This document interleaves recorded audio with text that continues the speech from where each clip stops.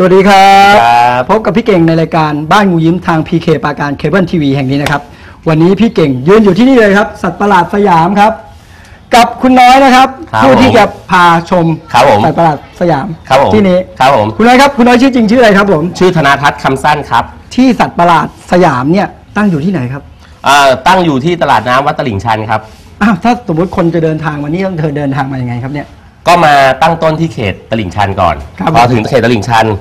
ก็จะเลยมาอีกนิดนึงครับ มันบังคับเดียวครับ ก็เจอวัดตลิ่งชันก็เข้ามาสุดท่าน้ำเลย มาที่นี่เจอสัตว์ประหลาดแน่นอน เจอแน่นอนครับมันจะมีอะไรใครประหลาดกว่าตากล้องผมอีกหรือเปล่าเนี่ยโอ้โหมีครับมีข้างในเยอะแยะเลย ข้างในเยอะแยะครับ งั้นเดี๋ยวเราไปดูกันดีกคว่า รับผมตามมาเลยครับ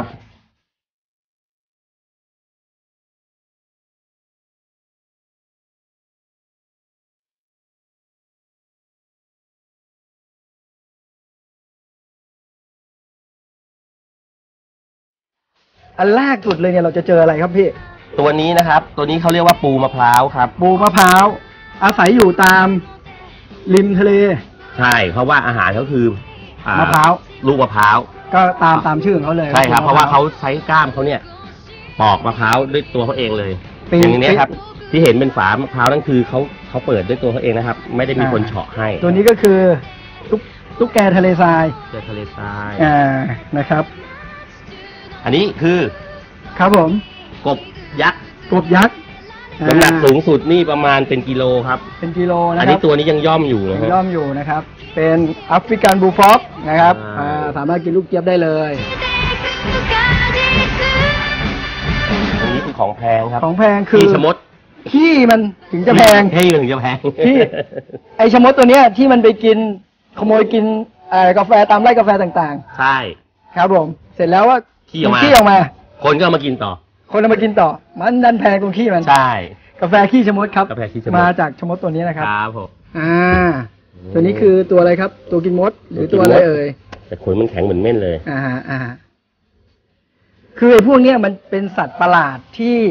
คือพวกนี้จริงๆแล้วเนี่ยมันมันไม่ยังไม่ได้อยู่ในโซนสัตว์ประหลาด อันนี้คือโซนสัตว์แปลกสัตว์หายาก สัตว์แปลกที่แปลกเองโดยธรรมชาติ ใช่ครับ คือคือหมายถึงว่าสายพันธุ์พันธุกรรมมันมันเป็นอย่างนี้มาเองใช่ใช่แต่เราครับมองว่ามันแปลก คือคนคนที่ไม่ค่อยได้พบเห็นก็จะมองว่าเขาเป็นสัตว์แปลกครับผม จริงๆโดยธรรมชาติเขาก็เป็นสัตว์ที่อยู่ตามธรรมชาติเพียงแต่บ้านเราอาจจะมีไม่เยอะ อ่าอาจจะไม่เคยพบเห็เห็นน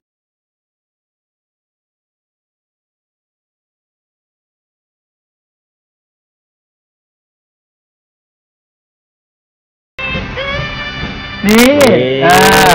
นี่คืออะไรเอ่ยคุณเก่งให้ดู อ่า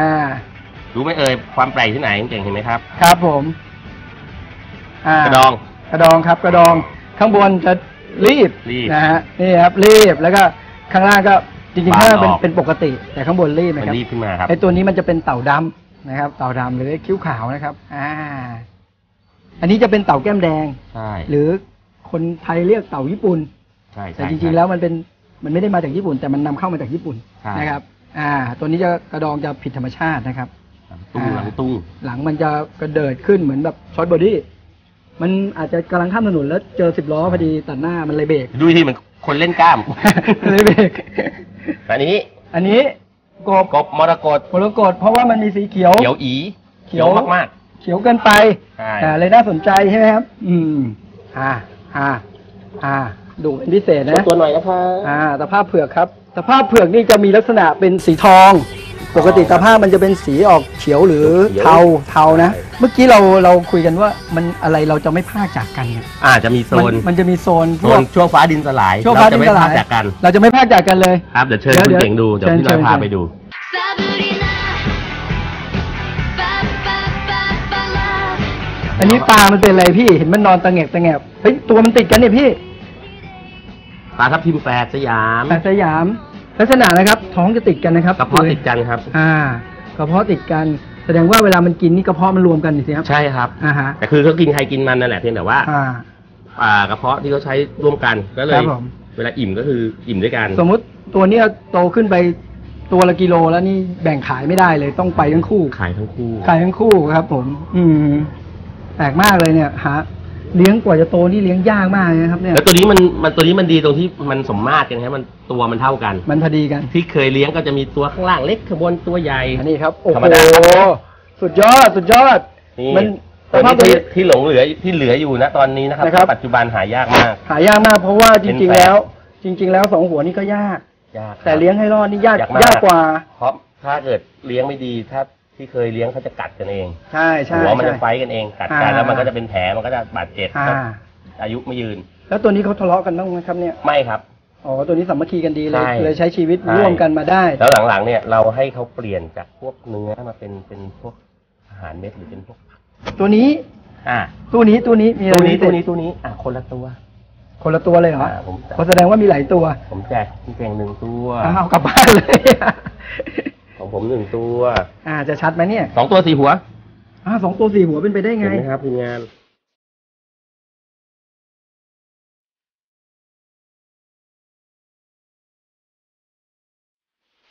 อ่า นะครับโอ้โหเขาเลี้ยงพวกนี้ก็เลี้ยงยากเหมือนกันเลี้ยงเพราะยากว่าครับ เขาจะต้อง balance ในการไปข้างหน้า โอ้โหพี่เก่งถูใหญ่แล้วเนี่ยถูใหญ่เลยถูใหญ่แล้วเนี่ยใครมาต้องถู เถูใหญ่แล้วเนี่ยโอ้โหดูได้มีเลขมีอะไรออกบ้างไหมเนี่ยโอ้โหนั่นนั่นนั่น นะครับ ต้องกินด้วยกันเหมือนกัน ครับผม เหมือนปลาเหมือนปลาฮะเวลาเลี้ยงอ่าอ่านี่นี่ดีๆอาจจะมีเลขนะดูดีๆนะท่านผู้ชม ปลาปลา อีกอันหนึ่งอันนี้อันนี้มาชั่วฟ้าดินสลายเหมือนกันโชฟ้าดินสลายต้นต้นนี่ต้นอะไรครับชวนชมชวนชวนชมเลยทะลึ่งขนาดเนี้ย ชวนชมแล้วเขาชวนให้ชมไงโอ้โห ทีนี้เรื่องของเรื่องคือสองต้นเนี้ยมันเป็นต้นเดียวกัน อ่า คือได้ยังไงอะคนไม่ทราบเนี่ยก็จะนึกว่าเราเอาสองต้นมาปลูกคู่กันถูกไหมนั่นอะอ่าอาจจะมีต้นที่ออกเป็นแนว ดูแล้วเป็นผู้หญิงใช่ใช่อันใช่นี้ดูเป็นผู้ชาย แน่นอน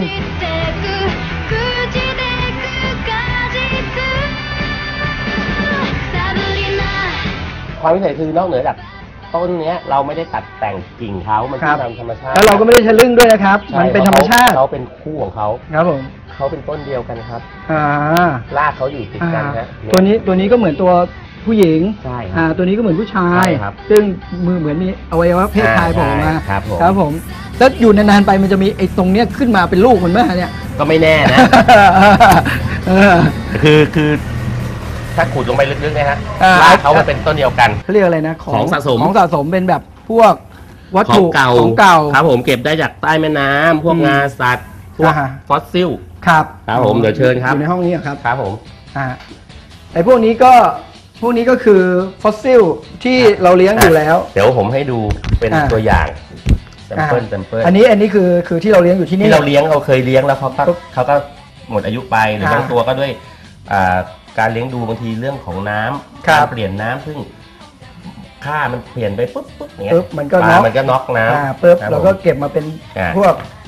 เป็นอ่าฟอสซิลผมก็ฟอสซิลอ่าทางเราก็ทำการสตัฟฟ์ไว้อย่างที่บอกคุณเก่งเมื่อโอ้กี้ย ปลาทับทิมวันนี้ตัวใหญ่มากเลยอ่านี่ตัวใหญ่เลี้ยงจนใหญ่แล้วบังเอิญน็อกน้ำครับ ก็เลยไป อ่าตัวข้างล่างเห็นไหมฮะ ที่เมื่อกี้เราบอกตัวข้างนอกเนี่ยมันจะตัวเท่ากันแต่ตัวเนี้ยตัวข้างล่างเล็กตัวบนใหญ่และและตัวเนี้ยครับมันแปลกยังไงอันนี้คือมันเป็นสองหัวฮะสองหัวนะครับแยกแยกซ้ายขวาอย่างนี้เลยใช่อ่าตัวเดียวกันแต่สองตัวเดียวกันนะครับทีมงานดูอ่าบ้านผมก็มีนะเนี่ยปลาสลิดเนี่ยนี่เหรอใช่ไหมอัลโลนาบ้างเอ้ยปลาสลิดปลาสสลิดลิดเผือกสลิดสลิดเผือกอ่าอ่าอัลโลนาอยู่นี่อ่าใช่ใช่อ่า และนี่ก็คือพวกกลุ่มเต่าสองหัวทั้งหลายแหละ ที่ตายแล้วที่ตายแล้ว ตั้งแต่รุ่นแรกๆ ตอนเริ่มเลี้ยงฮะเลี้ยงจนถึงตัวขนาดนี้อ่าฮะอ่าฮสภาพสภาพโอ้โหตัวใหญ่มากเนี่ยใช่ โอ้โตายนี่ร้องไห้เลยใช่เนี่ยครับ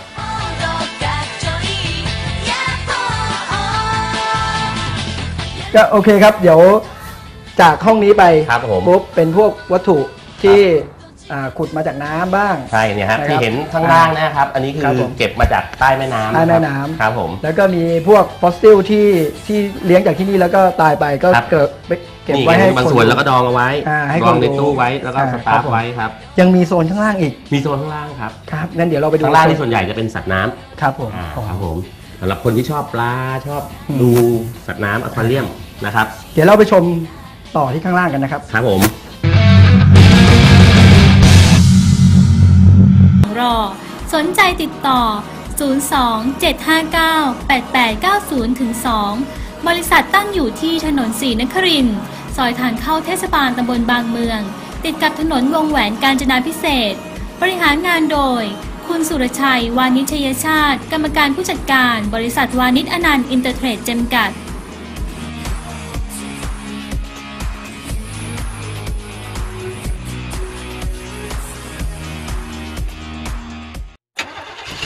บริษัทปราการเคเบิลทีวีจำกัด ฉลองครบรอบ 10 ปี ลุ้นรถลุ้นโชค รางวัลที่ 1 รถยนต์มิตซูบิชิมิราจจำนวน 1 รางวัล รางวัลที่ 2 รถจักรยานยนต์ยามาฮ่าจำนวน 3 รางวัล รางวัลที่ 3 iPad mini จำนวน 3 รางวัล และรางวัลเครื่องใช้ไฟฟ้าอื่นๆ อีกมากมาย รวมมูลค่าของรางวัลกว่า 8 0 0 0 0 0บาท เพียงเขียนชื่อที่อยู่เบอร์โทรศัพท์ส่งมาที่ตู้ปณ 72ปณสสมุทรปราการ 10270 หรือส่งที่ทางบริษัทปราการเคเบิลทีวีจำกัด สาขาศรีนครินและสาขาบางเสาธง หรือส่งผ่านมาที่ทางพนักงานเก็บเงิน สอบถามรายละเอียดเพิ่มเติมได้ที่ 027030707บริษัท One Point Service Center จำกัด ศูนย์จำหน่ายเครื่องปรับอากาศทุกยี่ห้อ พร้อมอะไหล่และโครงแอร์ โดยรับติดตั้งซ่อมแอร์แบบครบวงจรโดยทีมช่างที่มีประสบการณ์ และนอกจากนั้นบริษัท One Point Service Center จำกัด ยังมีเครื่องทำน้ำอุ่นจำหน่ายทุกยี่ห้อ และเครื่องกรองน้ำพร้อมติดตั้ง และกล้องวงจรปิดคุณภาพสูงคอยให้บริการ สนใจติดต่อ 0802112122 0863761155 ทุกเครื่องการันตีมีปัญหาบริการฟรี บริษัท One Point Service Center จำกัด ไม่แพงอย่างที่คิด รับสมัครผู้ช่วยช่างแอร์ เพศชายไม่จำกัดวุฒิการศึกษาไม่จำเป็นต้องมีประสบการณ์ สนใจติดต่อ 0802112112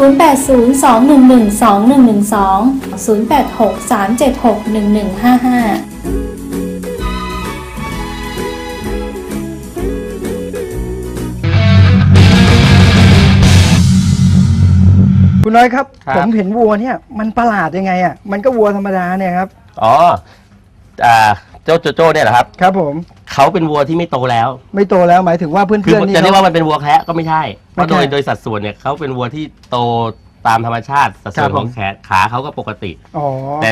แต่ตอนนี้เขาไม่โตแล้วเขาหยุดโตแล้วคือคือถ้าวัวแค่มันจะขาสั้นอ่าหพวน้ากสัตว์แคะเนี่ยมันจะมันจะอ่าขาผิสั้ดส่วนนๆอ่าผิดส่วนครับผมประมาณนี้แต่ตัตัววนี้นี้ตคือนอนี้เขาโตมาได้แค่นี้เขาก็หยุดโตแล้วในขณะที่สมส่วน พวนรุ่นร่วมรุ่นเขาเนี่ยก็จะสูงเป็น ขึ้นไปตัวเท่าเท่าคนอย่างเราแล้ว อ๋อ เป็นเป็นเป็นวัวใหญ่แล้วใช่ครับ แต่เขายังเล็กอยู่เขายังแค่เอวเราอยู่อ๋อ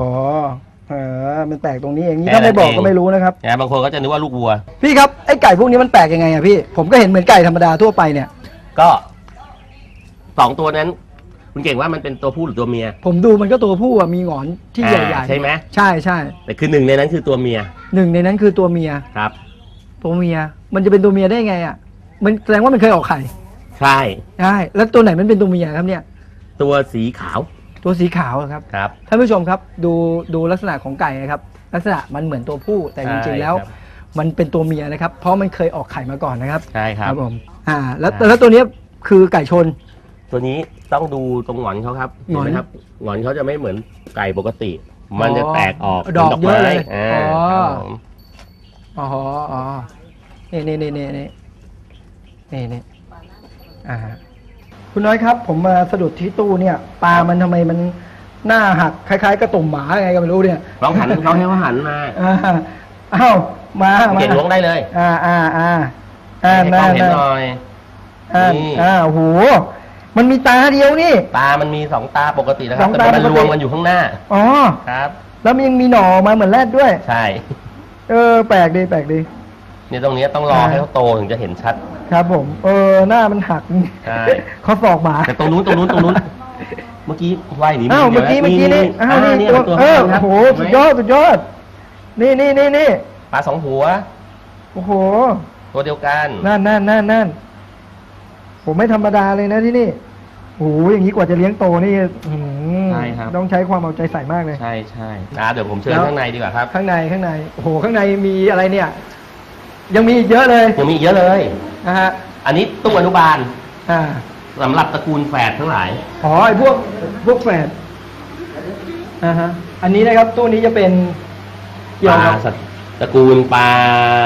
ไม่มีตา ไม่มีตาตัวนี้ ก็คือเกิดมาตั้งแต่แรกนี่ไม่มีตาไม่ไม่มีได้ตาไม่ได้เกิดจากอุบัติเหตุหรืออะไรมาก่อนเป็นธรรมชาติเป็นธรรมชาติเกิดมาไม่มีลูเหมืกอนตาจะเป็นลักษณะเหมือนปลาที่อยู่ในน้ำลึกอ๋อออยู่ในถ้อ่าำซึ่งเขาไม่ต้องใช้แสงสว่าง อย่างอย่างปลากายนี่ก็เห็นเหมือนกับตามันเรียบๆหายไปเลยนะก็คือไม่มีตาลืมเหมือนกันลืมพกตามา ลืมพกตามาอ่าเดี๋ยวผมพาชมตู้ข้างในอ่าตู้ข้างใน เอาจากข้าง ข้างนอกเข้าข้างในดีกว่า อ่าเพราะว่าอันนี้เหลือ ใกล้แค่จะหมดของเราแล้ว เหลือแค่นี้ใช่ไหมครับผม ผมก็อ่ากลัวเขาจะเอวหักจริงๆพี่คุณน้อยกำลังจับนี่คือ ใบเตัวอะไรกบแบนครับกบใบไม้กบใบไม้กฮะบปีป้า ใช่ เออ ดูดูไปแล้วก็เหมือนคังคกถูกรถสิบล้อทับเหมือนกันนะเนี่ย แต่เขายังหายใจอ่าอ่านี่เห็นไหมครับ โดยชื่อพันธุ์ผมจำไม่ได้นะครับ แต่ว่าลักษณะของของอ่าสรีระก็คือ ตัวจะคล้ายๆจระเข้ใช่ใช่หัวใช่เป็นกิ้งก่า อ่า นี่ก็คือสายพันธุ์ ปลาหมอ ปลาหมอสี สี แต่ไม่มันหัไม่มีปากบนหักขนาดนี้ครับ ตัวนี้เขาไม่มีปากอ๋อบน ไม่มีปากบนใช่ครับ อ๋อไอตัวใหญ่ ๆ เนี่ยอันนี้ก็คือชะโดชะโดที่นี่มันแปลกยังไงครับอ่าแปลกที่ลายครับที่ลาย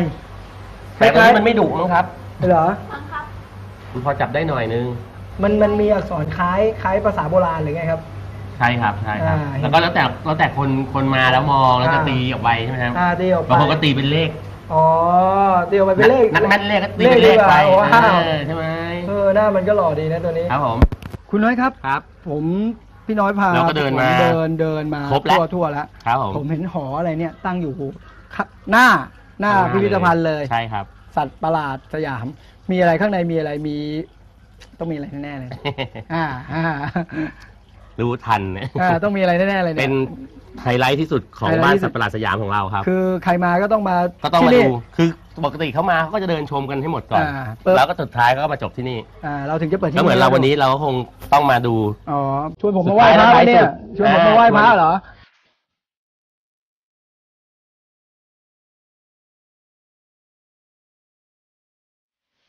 อ่า ครับ นี่ครับโอ้ยพี่น้อยเป็นธรรมชาติที่ อธิบายอธิบายเลย ความความความประหลาด ที่ทำให้ลูกตาเขามาอยู่ข้างหน้าครับ หน้าของคน แล้วแถมริมฝีปากมีสีส้มคาดอีกเหมือนคนทาปากอีกโอ้โหปลาธรรมดาไม่มีตาธรรมดาไม่ใช่ใช่ใช่เอาแค่ปากแสดงว่าตัวปลานั้ทอนงธรรมดามันก็ไม่มีไม่มีสีอ๋ออันนี้ถ้าไม่ดูที่ลูกตาเขาแค่ปากเขาก็เป็นปากแล้วอ่าฮะแล้วแถมลูกตาขยื่นมาอยู่ข้างหน้าของเขาอีก อ่าก็ก็แสดงว่าตัวนี้เลี้ยงไว้ให้ให้คนดูว่าไอ้ตัวนี้ใช่ ประหลาดยังไง ใช่ครับ ที่ที่มาอยู่ที่นี่ได้ ใช่อืม ที่มาอยู่ที่นี่ได้ด้วยการเสาะหาของคุณเข้าตูเขา คุณเข้าตูเลยเหรอครับครับผม แล้ววันนี้ผมจะเจอคุณเข้าตูไหมเนี่ย นี่นะ คุณเข้าตูจะมาไหมเนี่ย นั่นน่ะสินี่ตัวแทนคุณเข้าตูอ่าฮะอ่าฮะตัวนี้มีชื่อไหมครับเนี่ย มีชื่อเรียกไหมอะไม่มีอะครับอ่าฮะเราเรียกเขาว่าปานครเดี๋ยวปาหน้าคนโอ้โหพูดได้ด้วยพูดได้เลยอ่าออกปุ๊บปุ๊บปุ๊บปุ๊บครัแอบบแอบแบลด้วยแอบแบลด้วยแอบแบ๊ว เออคุณน้อยครับ ที่สัตว์ประหลาดสยามเนี่ย ครับ บอกท่านผู้ชมอีกทีครับ ว่าถ้าเขาจะมาชมเนี่ยเขาต้องมาได้ยังไง มาที่วัดตลิ่งชันตลิ่งชันครับผมอยู่ติดกับสำนักงานเขตแล้วใช่ตลิ่งชันครับ จะติดต่อจะดูเอ่อมี Facebook มีอะไรบ้างไหมครับมีครับอ่าเข้าเฟซบุ๊กนะครับ บ้านสัตว์ประหลาดสยามสะกดภาษาไทยเลยนะครับ สัตว์ประหลาดสยาม บ้านสัตว์ประหลาดสยาม บ้านสัตว์ประหลาดสยาม ครับผม ต้องเว้นวรรคก็ขึ้นเจอเลยไม่ครับงั้นลิ้นผมพันกัน ครับผม ใช่ครับ